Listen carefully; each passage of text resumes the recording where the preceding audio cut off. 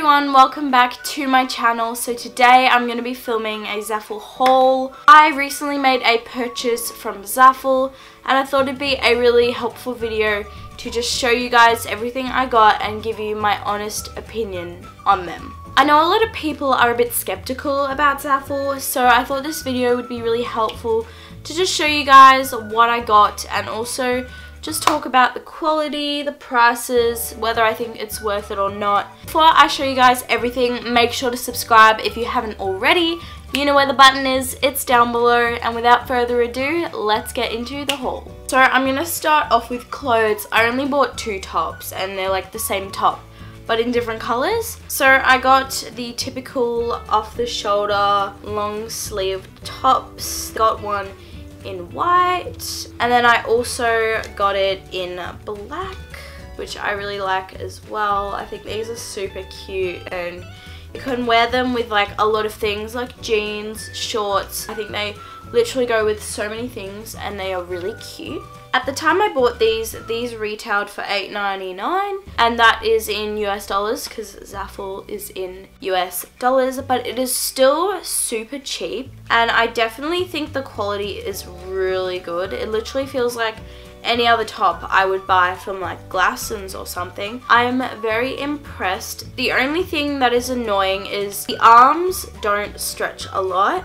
That is a problem that a lot of people have with these tops and I'm just not really happy with that. But for the price you pay, I probably wouldn't expect everything to be spot on. I definitely still recommend these if you have really small arms. It might be better for you. I think these are still a thumbs up.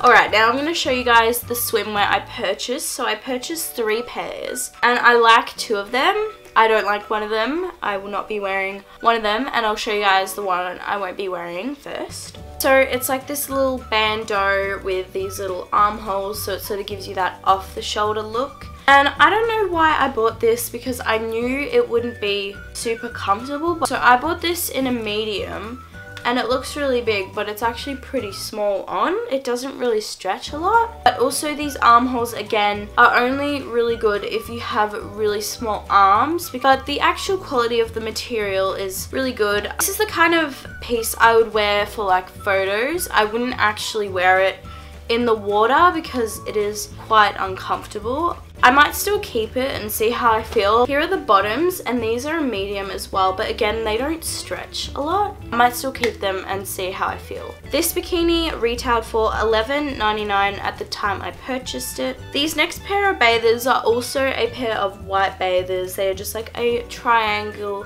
bikini shape and I'm quite happy with these. I also got these in a medium. The quality of the fabric is pretty similar to the other one and I'm pretty happy with this. I took the padding out because it was a bit weird, but it's also really good. It has a clasp and also these adjustable straps. I didn't have a white bikini and I wanted to get one and this bikini was $8.49 when I bought it, which I think is a really good price for the quality you get. I will definitely be wearing this one when I go on holiday. And then here are the bottoms. They are like these high-waisted bottoms. I think they're really cute. They're also really good quality. Here's the back.